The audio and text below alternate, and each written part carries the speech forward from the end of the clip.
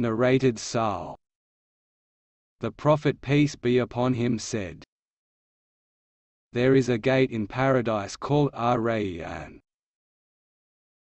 And those who observe fasts will enter through it on the day of resurrection, and none except them will enter through it.